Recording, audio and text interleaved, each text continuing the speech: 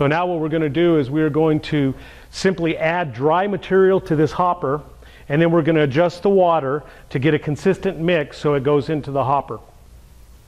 When this continuous mixer comes from the factory, uh, we want to always turn, this is a water dosing meter, we want to always turn it down to stop. And then we want to open it up approximately two turns.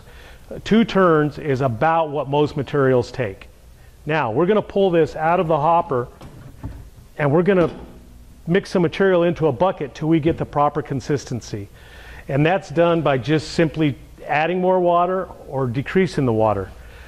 As you're adjusting this, you make very small increments here and then wait a few seconds for that change to come through the mixing chamber and come out. If you simply turn it and think it's not right and turn it again, you're going to chase the wetness of the material. In other words, there is a slack time between the travel of the mixing chamber. So we want to make a very small adjustment here and then check it there.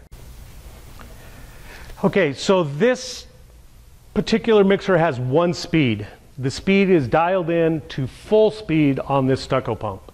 So basically, this stucco pump has a remote on it. So when it's turned on at the nozzle, you'll hear the pump go on. The person who's loading the bags will turn on the mixer.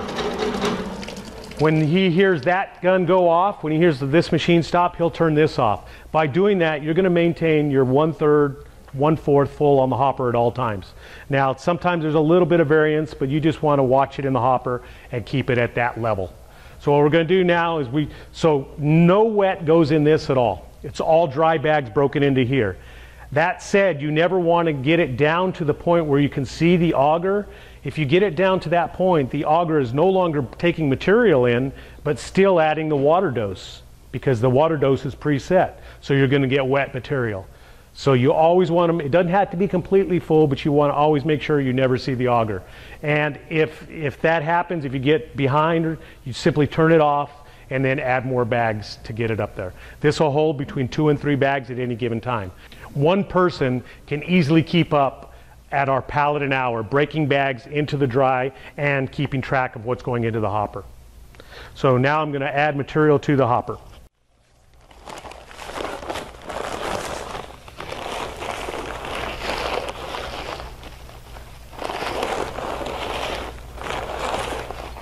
Uh, this particular setup has a water sensor in that if you do not have at least 40 psi of water going into the system, the system will not turn on. So you always want to make sure you have 40 psi.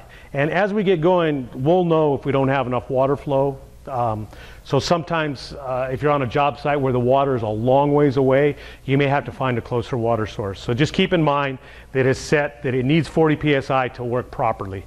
So now we're going to turn it on and simply test the, check the consistency of the material.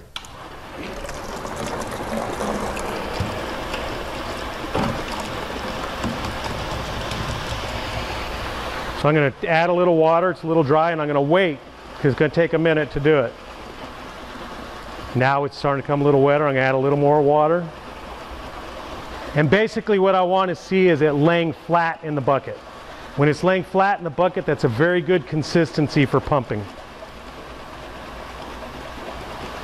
You're going to use a bucket to adjust this thing. There we are right there. We see the consistency, it's laying flat. You can take this bucket, add a little water to it with a drill and still utilize it in the pump, but you wouldn't want to pour it in there like that because there's dry, wet, dry. So you wouldn't want to use, just pour directly into the pump. But it can be saved simply by putting a drill in it.